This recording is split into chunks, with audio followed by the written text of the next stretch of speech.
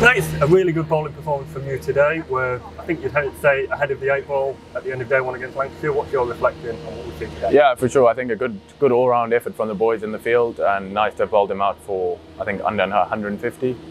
Um, and then obviously Feroze and Dean put on a good partnership, followed up by uh, Sam Cook. So yeah, I think we're in a good position leading into tomorrow. And they're a really good team. You know, you look at their squad. It, this is a good achievement to be where we are. Yeah, for sure. I mean, we've struggled here in the in the past against them. Um, so yeah, it's nice to be where we're at. And your bowling performance in, in particular, four wickets for yourself. Obviously, it was against Lancashire where you took five for six. You seem to quite enjoy playing against them.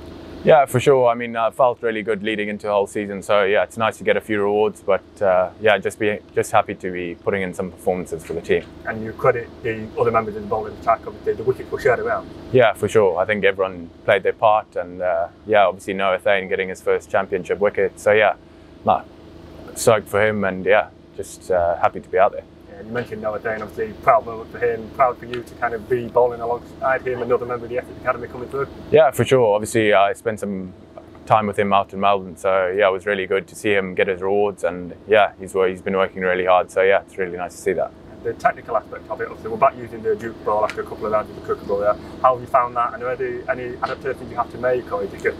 No, not necessarily. I think pretty similar. Like we've got a pretty standard plan as to what we're trying to do when we're out there. So no matter what the ball is, it's just it's all the same really. And one other thing you had to overcome as well, there were quite a few rain disruptions, certainly early on. Is that difficult when you're trying to get into a rhythm when you're bowling, or is that just? Uh, not necessarily.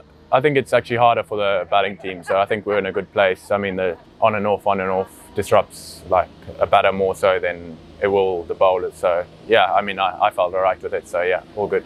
And then finally, we're in a strong position now. It's important to capitalise heading into the rest of the game. Yeah, for sure. I think tomorrow is a big day for us. Hopefully, we can get a, a good good lead and uh, see where we're at after tomorrow.